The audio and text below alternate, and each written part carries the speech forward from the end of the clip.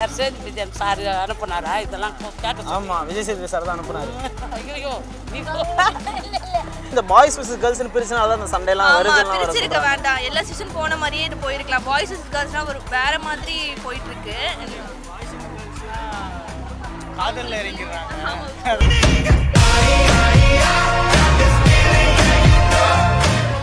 பிடிச்சதே இந்த எபிசோடில் சேச்சி தான். அதோட ஸ்லாங்கு அது பேசுகிற விதம் அப்பா எனக்கு தெரிஞ்சு எனக்கு எ- எதனால் பிக் பாஸ் இப்போ லைட்டாக பார்க்குறேன்னா நம்ம சேச்சி அந்த ஸ்லாங்குக்காக தான். அதே மாதிரி பொண்ணுங்களாம் ரொம்ப அழுகுறாங்க அழுகுறாங்களான்னு வேற சொல்லிட்டு இருக்காங்க. ரொம்ப அழுகுறாங்களோ பார்க்கும்போது தெரியுதா? சாப்பாட்டு விஷயம் தான் சண்டே ஆகுது வேற ஒன்றும் சண்டை. வேற ஒன்று கேமுக்கெல்லாம் சண்டை போட்டுக்க மாட்டேங்கிறாங்க. சாப்பாடு கேம் அங்கே விளாட்ல ஆ. கேம் விளாடாது சாப்பாட்டுக்கு தான் சண்டை போட்டுக்கிறோங்களே எங்கே இருந்து ஃபேன் பேஸ் இருக்குன்னு தான் நம்மளுக்கு தெரிய மாட்டேங்குது. ஆள் பார்க்க இது உள்ளே இருக்குதே தெரியாத மாதிரி இருக்குது. ஆனால் ஃபேன் பேஸ் அவ்வளோ இருக்குதுங்க அதுக்கு. ஓட்டிங்கில் பார்த்தா டாப்பில் இருக்கிறாங்க. என்னதான் வந்து ஏதுக்கு வந்து தெரிய மாட்டேங்குது. பார்த்தா அதுதான் டாப்பில் ஆனா தர்ஷா குப்தா தான் எனக்கு ஃபேன்ஸ் வெளியே இருக்கிறாங்க. பார்த்தா தப்பா நினைப்பாங்கன்னு வர சொல்றாங்க. சகுப்தாக்கு ஃபேன்ஸ் இருக்கு ஆனால் ஓட்டு போட மாட்டாங்களே ஒருத்தரும் ஆக்சுவலி அவர் எப்பவுமே பேசுற மாதிரி ரொம்ப கேஷுவலா சூப்பரா பேசினாங்க. ஒரு தனி ஃபேன் பேஸே அவருக்குன்னு வந்துருச்சு இப்போ. ஆனா பிக் பாஸ்ல இப்படி பேசுவார் எதிர்பார்த்துக்க ஆஹ் மாட்டீங்க கண்டிப்பா எதிர்பார்க்கல. ஆக்சுவலி கமல் சார்னாலே ஒரு தனி இதுவா இருக்கும். எல்லாரும் பயப்படுவோம் அவர் எப்படின்னு சொல்லிட்டு. ஸோ விஜய் சேதுபதி சார் வந்தோடனே எல்லாரும் யோசிச்சு பார்த்துருப்போம் அவர் எப்படி பேசியிருப்பான்னு சொல்லிட்டு. பட் அவரோட ஸ்டைல் அப்படியே மெயின்டைன் பண்றாரு. எப்படி கலாய்கிறன்னு கலாய்கிறது தெரியாமலே கலாய்ச்சி விட்டு போயிடுறாரு. நேற்றுலாம் தர்ஷா ஏஞ்சிரு ஏஞ்சிரு தர்ஷா. ஆ உட்காந்துரு தர்ஷா. அந்த மாதிரி கலாய்ச்சி விட்டு போயிடுறாரு. நாசுகா கமல் ஹோஸ்ட் பண்ணதை விட நம்ம விஜய் சதி ஹோஸ்ட் பண்ணுறது பார்க்கறது ரொம்ப ரொம்ப பிடிச்சிருக்கு. அவர் கொஞ்சம் புரியாத மாதிரியே பேசுவார். இவர் நல்லா பக்காவாக பேசி ஆளே பக்காவாக ஹோஸ்ட் பண்ணி கொண்டு போகிறாரு எல்லாரும் நல்லா தான் விளையாடுறாங்க. சில பேர் வந்து யாருக்கும் தெரியாமல் கேர்ள்ஸ் கிட்ட இருந்து இன்ஃபர்மேஷன்லாம் வாங்கிட்டு போய் பாய்ஸ்க்கு கொடுத்துட்டு வித்தியாசமாக விளையாடுறாங்க. சில பேர்? ஜெஃப்ரி ஆ.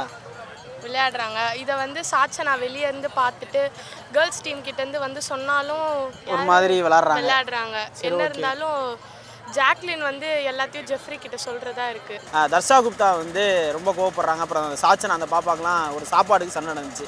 என்ன நடந்துச்சு பார்த்தீங்களா அந்த பாப்பா வந்து நான் சாப்பாட்டுல எல்லாம் துரோகம் பண்ண மாட்டேன். நான் சாப்பாடுலாம் நான் யாருக்குமே வஞ்சனை பண்ண மாட்டேன். அன்சிதா சொன்னாங்க. ஆமா. ம். அந்த இன்னொரு பாப்பா இருக்குது பாரு. அது நான் ரெண்டு வாட்டி கேட்டேன் ரெண்டு வாட்டிக்குது மூணாவது வாட்டி கேட்டேனாக்கா நீ வய- அளவுக்கு மீறி சாப்பிட்டாக்கா அப்போ இருக்கிறவங்களாம் என்ன சாப்பிடுவாங்க. எல்லாரும் லிமிட்டா பார்த்து தான் சாப்பிடணும். அவன் என்ன எனக்கு உடம்பு சரியில்லை கேட்டா கொடுக்க வேண்டியதானே அப்படிங்கிறாங்க அது எப்படி கொடுப்போம் இப்போ எல்லாரும் சாப்பிடணும். நெருக்கி தான் சாப்பிடணும்பா வரத்தை இருக்கிறத எல்லாம் நெருக்கி நெருக்கி சாப்பிடணும். ஆம்பளை பொம்பளை எல்லாம் நெருக்கி சாப்பிடணும். நீ அதிகமாக சாப்பிடுவ. அடுத்தவங்க இது பண்ண முடியுமா? சொல்லு. உன் வயிறை கம்மி பண்ணிட்டு உனக்கு கொடுக்கணும்னாக்கா எப்படி காக்க என்ன இது எப்படின்னா ஒரு அட்டென்ஷன் சீக்கிங் மாதிரி தான் இது சின்ன பிரச்சனையை வந்து பிக் பாஸ்னாலே நமக்கு தெரியும்ல. லைக் சின்னதாக வந்து பெருசாக ஊதி பார்ப்பாங்க. அந்த மாதிரி தான் இதெல்லாம் வந்து ஒரு பிரச்சனையாவே இல்லை. ஏதாவது ஒரு எமோஷன் அங்கே கொண்டு வரணும். அதுக்காக வந்து பண்ணிட்டு இருக்காங்க இது ஒரு கேம் மாதிரி தான் தெரியுது கேம் மாதிரி தான் தெரியுது. ஓகே இவ்வளோ பிரச்சனைக்கு நடுவுல தர்ஷா குப்தா எனக்கு முட்டை வைக்கல அப்படின்ற ஒரு பிரச்சனை வந்து போச்சு. ஆமா. இது பிரச்சனைக்கு நடுவில் அவங்க அவங்க ஒரு பிரச்சனையை உருவா அவங்க தெரியணும் அப்படின்றதுக்காகவே அவங்க பண்றாங்களா இல்லையான்னு எனக்கு தெரியல. ஆனா அது ஒரு காமெடியா தான் இருந்துச்சு. ஆனா இதெல்லாம் ஒரு பெரிய பிரச்சனையே இல்லை. கம்பேர்ட் டு அதர் சீசன்ஸ்லாம் இதெல்லாம் வந்து ஒரு சின்ன ப்ராப்ளம் தான். குழந்த மாரி சாப்பாட்டுக்கெல்லாம் போட்டு அடிச்சிக்கின்னு இதுக்கு சம்மந்தமே இல்லாத மேட்ரு தான் அது.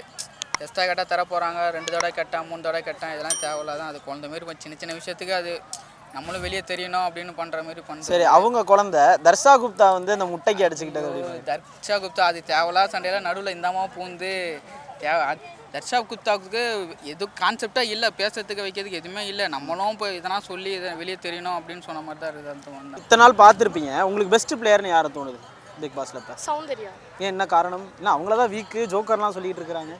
இல்ல என்ன இருந்தாலும் நல்லா விளையாடுறாங்க. அவங்க பாயிண்ட்ல அவங்க கரெக்டா இருக்காங்க அதனால. முத்து முத்து தான். அவரோட பேச்சு எனக்கு பிடிச்சிருக்கு. தமிழ் நல்லா அந்த மாதிரி தான். கேம் பிளேலாம் அப்படி பண்ணுறாரு கிளைம் பிளேயரும் ஓகே தான். முத்து ஓகே அருண் வந்து ப்ரெடிக்ட் பண்ணவே முடியல. என்ன பண்ணுறாரு என்ன அப்படின்றது? பண்றேன்னு கேர்ள்ஸ் டீம்ல வந்து ஸ்டார்டிங்ல சாச்சனா உள்ள போகும்போது கொஞ்சம் பிடிச்ச மாதிரி இருந்துச்சு. இப்போ போக போக அவ்வளவா பெருசா தெரியல.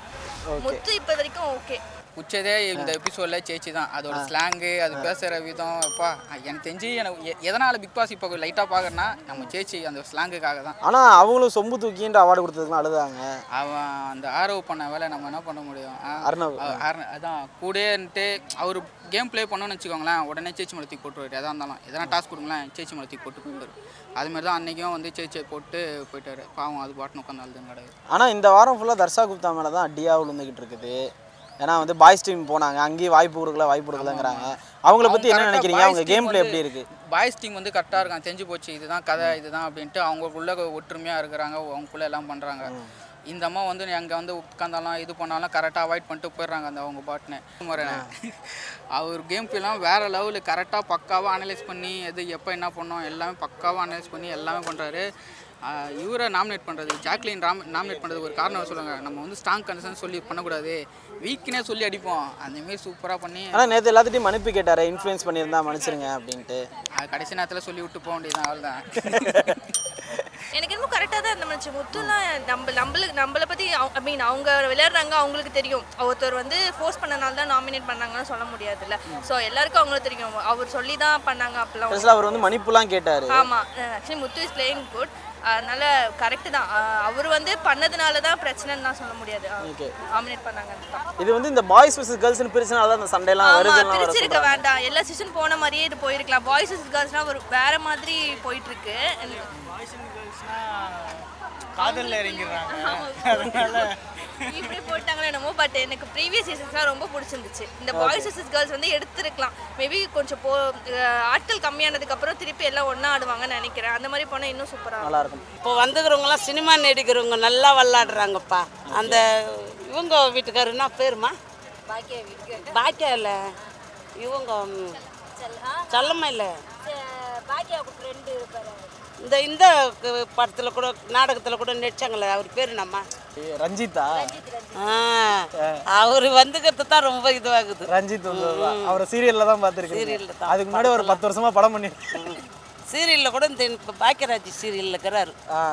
ஆனா தர்ஷா குப்தா மேல தான் ரொம்ப ஒரு ஹேட்டட் இருக்கு அப்படின்ற மாதிரி தான் நிறைய பேசுறாங்க. ஹேட்டட் அளவுக்குலாம் அவங்க ஒண்ணுமே இல்லைங்க. அவங்க ஏதோ பிரச்சனை பண்ணணும் ஏதோ தெரியணுன்றதுக்காக அவங்க ஏதோ காட்டிட்டு இருக்காங்க. அவங்க எல்லா டைமும் ஏதாவது ஒரு பிரச்சனை பண்ணி தான் இருப்பாங்க. அழுகுறாங்க சமைக்கிறத வச்சு ஏதாவது பேசிட்டு இருக்காங்க. ரொம்ப பெரிய ஆளாக ஆளெல்லாம் கிடையாது. லைக் என்னன்னா அவங்க வந்து ஏதோ அவங்க தெரியணுன்றதுக்காக பிரச்சனைக்குள்ள அவங்க ஒரு பிரச்சனை உருவாக்கிட்டு போயிடுறாங்க. அவ்வளவுதான். தர்ஷா குப்தா வந்து எனக்கு முட்டை வைக்கல. முட்டைக்கு சண்டை. நாங்க அதனால தான் நைட்டுக்கு நான் டெய்லியும் பார்க்குறேன். ரெண்டு மணி ஆகும் நான் தூங்கும் இதெல்லாம் முட்டை முட்டை சண்டை இந்த சண்டைலாம் நம்ம பார்த்துட்டு குழம்பு சண்டை. ஊருக்கா சண்டை. யார் சேதி விஜயன் சார் அனுப்புனாரா? இதெல்லாம் கேட்க. ஆமா விஜய் சேதுபதி சார் தான் அனுப்புனாரு. ஐயோ நீ அவர் எப்படி பேசினார்? விஜய் சேதுபதி சார் எப்படி அதை ஹேண்டில் அவர் நல்ல இதுவாக தான் சொல்றாரு. நல்லா தான் இதுக்கெல்லாம் இப்போ இப்போ இது பண்ணுறதா நீங்கள் அட்ஜஸ்ட் பண்ணி தானே நீங்கள் எல்லாம் சாப்பிட்ணும் கொள்ளணும் சாப்பாட்டுக்கெல்லாம் இது பண்ணக்கூடாதுன்னு தானே அவங்க. பார்க்கறதுலே உங்க கொஞ்சம் விளாட்ற சரியில்லப்பா கொஞ்சம் ஃபர்ஸ்ட் பிளேயர் மாதிரி தெரியுறாங்க அப்படின்னா? அப்படின்னா ஜெஃப்ரி தான். என்ன காரணம்? எல்லாத்தையும் போயிட்டு பாய்ஸ் கிட்ட சொல்லிட்டு கேர்ள்ஸ் கிட்ட அப்படியே ரொம்ப நல்லவங்க மாதிரி நடிக்கிறாங்க அதுதான். ஒரு நேர்மை இல்லை. ஆ. இரிட்டேட் ஆகிற பிளேயர்னா ஜாக்லின். ஏன் என்னங்க என்ன காரணம்? ஜாக்லின் வந்ததுலேருந்தே அழுதுனே கிடக்குது. இதுக்கு தான் அழுகுதுன்னு தெரியல. எல்லா சொன்னதுக்கெல்லாம் போயிட்டு உட்காந்து அழுதுக்கின்னு ஸ்கோர் பண்ணிக்கின்னு நம்மளும் அழுது அழுது ஒன்று கப் வாங்கி போச்சே. அந்த மாதிரி அழுதுனே உட்காந்து நிற்குது இது. சௌந்தர்யா பார்க்க ஜோக்கர் அப்படின்ற மாதிரி ஏதோ சொன்னாங்க எங்க இருந்து ஃபேன் பேஸ் இருக்குன்னு தான் நம்மளுக்கு தெரிய மாட்டேங்குது. ஆளு பார்க்க இருந்து உள்ள இருக்குதே தெரியாத மாதிரி இருக்குது. ஆனா ஃபேன் பேஸ் அவ்வளோ இருக்குதுங்க அதுக்கு. ஓட்டிங்கில் பார்த்தா டாப்ல இருக்கிறாங்க. என்னதான் வந்து ஏது வந்து தெரிய மாட்டேங்குது. பார்த்தா அதுதான் டாப்ல ஆனா தர்ஷா குப்தா தான் எனக்கு ஃபேன்ஸ் வெளியே இருக்கிறாங்க. பார்த்தா தப்பா நினைப்பாங்கன்னு அவரை சொல்றாங்க. ஹர்ஷா குப்தாக்கு ஃபேன்ஸ் இருக்கு ஆனால் ஓட்டு போட மாட்டாங்களே உத்தரம் அங்கே இது எங்கேருந்து வந்ததுன்னு தெரில பார்த்தா அவன் ஸ்டேட்டஸ் போடுறானுங்க அவன் வைக்கிறானுங்க என்னென்னமோ பண்ணுறானுங்க இது எங்கேருந்து ஃபேன் பேஸ் பிடிச்சதுனே தெரில ஒன்றுமே பண்ண மாட்டேங்குது ஃபேன் பேஸ் பிடிச்சி வச்சுக்குது. அதே மாதிரி பொண்ணுங்களாம் ரொம்ப அழுகுறாங்க அழுகுறாங்களான்னு வேற சொல்லிட்டு இருக்காங்க. ரொம்ப அழுகுறாங்களோ பார்க்கும்போது தெரியுதா? சாப்பாட்டு விஷயம் தான் சண்டே ஆகுது வேற ஒன்றும் சண்டை. வேற ஒன்று கேமுக்கெல்லாம் சண்டை போட்டுக்க மாட்டேங்கிறாங்க. சாப்பாடு கேம் அங்கே விளாட்ல கேம் விளாடாது சாப்பாட்டுக்கு தான் சண்டை போட்டுக்கிறவங்களே